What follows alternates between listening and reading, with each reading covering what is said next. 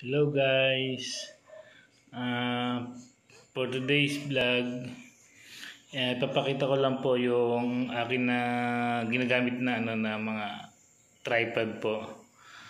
Para pag ako yung nagbibideo para especially pag andito lang po sa bahay or saan para hindi ko na po siya kailangang hawakan para naka-steady lang po yung ano yung camera ayan po siya. Dalawang ano po dalawang tripod.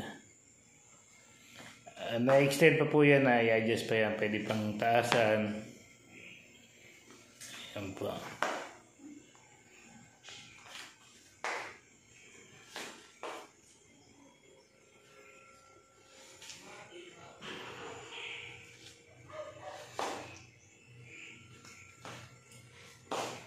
Uh, yung mas mababa po, medyo ano yun, medyo mas magaan siya compare dito sa isang mas mataas na tripod kasi solid na bakal po itong ano eh, itong mas mataas.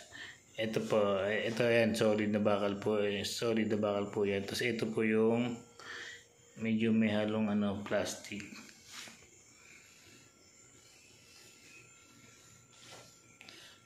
So, ayan lang po guys. Uh, pinakita ko lang po yung munti kong gamit sa pagbablog po.